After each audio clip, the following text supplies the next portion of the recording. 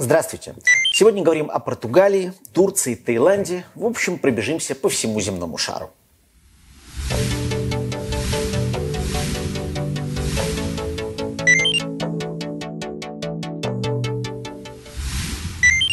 Новости из Португалии в целом позитивные. Как известно, страна весьма популярна у иммигрантов, но официальные структуры с ковидных времен не справляются с гигантским потоком заявлений от всех желающих переехать на Пиренеи.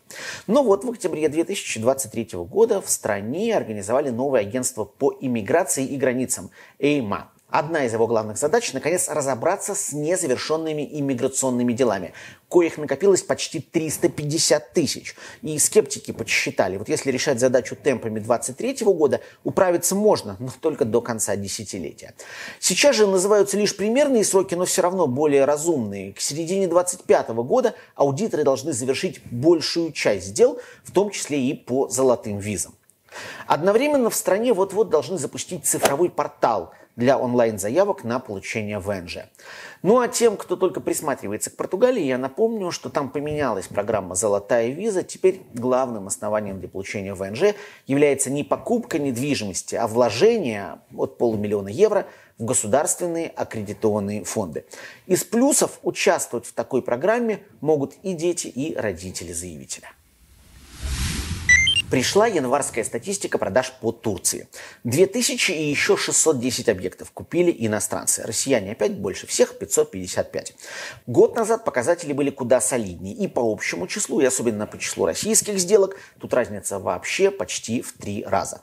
Ну, оба показателя снижаются последний год. Собственно, январь 23-го был последним столь активным. Уже в начале февраля случились страшные землетрясения, и спрос пошел под откос, иностранцы сбавили обороты. С другой стороны, 555 сделок – это все равно немало. Статистические ведомства в других странах, конечно, не столь оперативны, но могу утверждать, Турция у россиян, да и, вероятнее всего, у украинцев, у казахстанцев по-прежнему страна номер один. Но падение зарубежного спроса это в любом случае не слишком хорошо. И вот уже появились осторожные намеки, что власти Турции хотят активнее привлекать иностранных покупателей и даже планируют запускать какие-то рекламные кампании за границей. Вопрос, каков будет эффект, ведь это зависит в большей степени не от какой-то рекламы, а от конкретных действий. Мы уже замечали, местная недвижимость возвращается к статусу варианта для отдыха. Качестве места для переезда Турция слишком жестко, а главное, не слишком предсказуемо меняет условия. Лишь программа гражданства по-прежнему явно хороша.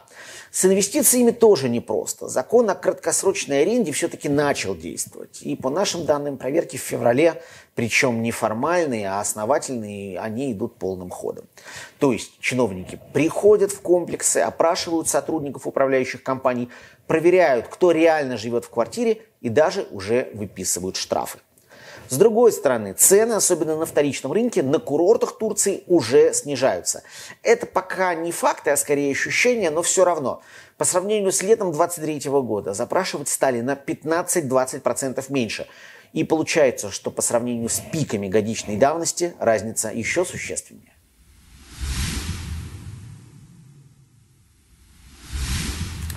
В нашей традиционной рубрике «Объект недели» вновь отправляемся в Таиланд, на остров Пхукет. По статистике, около 80% иностранных покупателей видят в здешней недвижимости прежде всего инвестиционный шанс. Тут и доходность неплохая, есть гарантированные схемы. Обычно зарабатывают на краткосрочной аренде, но возможен и долгосрок. В общем, атмосфера творческая, значит, требует погружения в тему.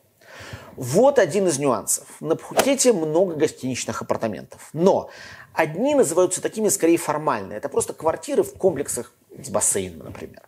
А есть проекты под управлением профессиональных компаний, которые без всяких оговорок являются гостиницами. Апартаменты обычно стоят для арендаторов дешевле. Но ведь для собственника по этой же причине интереснее могут быть гостиничные номера. Они-то приносят больше. К тому же, многие туристы приезжают на Пхукет за полным, полноценным отдыхом, и они не стремятся экономить на том же питании. Конечно, в данном случае многое, если не все, зависит от управляющей компании. Сможет ли она обеспечить атмосферу, за которую захочется платить? Так вот, на этой неделе в нашем фокусе проект именно гостиничный, то есть с ресторанами, барами и прочими атрибутами качественного отдыха. Сама квартира 1 плюс 1, 47 квадратов, трехметровый балкон. Проект, очевидно, туристический, 100 метров от пляжа Корон, для экспатов слишком курортно. Рассрочка до трех лет. Все прочие условия по ссылке в описании. Там же ссылка на другие предложения в Таиланде. И в заключение хочу пригласить вас на вебинары Приан. Нынешняя весна по разным причинам время активизации рынка. Представляем актуальнейшие темы. 28 февраля, то есть в ближайшую среду, мы рассматриваем действующие программы инвестиционного гражданства.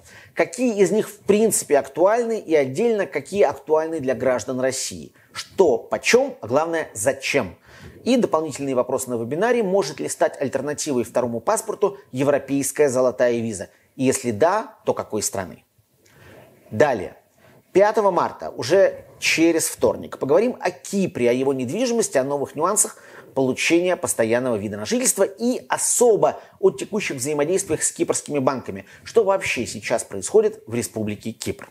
И, наконец, 12 марта обсуждаем, как получить максимальный доход на Пхукете. Собственно, мы подробно раскроем тему, о которой я говорил буквально минуту назад – Обсуждаем работу управляющих компаний, обсуждаем доходность апартов, доходность гостиниц, на что следует обращать внимание. На экране вы видите раздел «Вебинары» на сайте Приан, а все ссылки на конкретные вебинары также найдете в описании. А я на этом прощаюсь. Мира и безопасности всем. Если поднятые нами темы вам интересны, ставьте лайк и до встречи через неделю.